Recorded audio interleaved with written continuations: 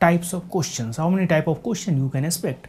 And uh, you can anticipate because much concept is not there much uh, you can say uh, mathematical complexity is not there related to clock. Then very simple question. Only thing they can make you confused based on some counting or some you can say day calculation or ampm calculation. That much only they can do.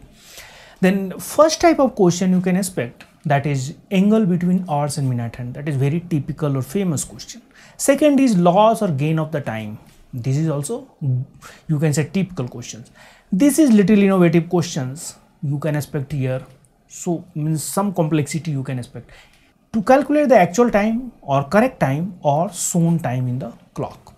And fourth is based on the mirror image and fifth is miscellaneous and word based or story based questions now just we'll try to go through the different type of questions related to these six type of questions first is Around 6 pm of evening, the angle between the two hands of clock is 65 degree.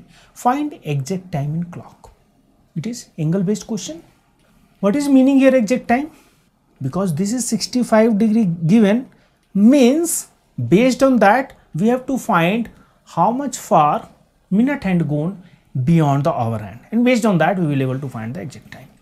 Around 6 pm this will be h equal to 6 theta is given 65 degree.